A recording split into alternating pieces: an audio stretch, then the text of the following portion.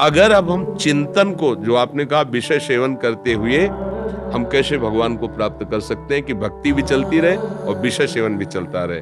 उसके लिए चिंतन, भक्ति का स्वरूप बाहरी नहीं होना चाहिए। इसके लिए इसके लिए चिंतन होना चाहिए। पहला, मैं जैसा भी हूँ, प्रभु का मैं ऐसा हूँ, ऐसा नहीं कहता। मैं भगवान का भक्त हूँ, मैं जितेंद्री हूँ, मैं पवित्र हूँ, मैं तपस्वी हूँ, मैं भजनानंदी हूँ, ऐसा कुछ नहीं।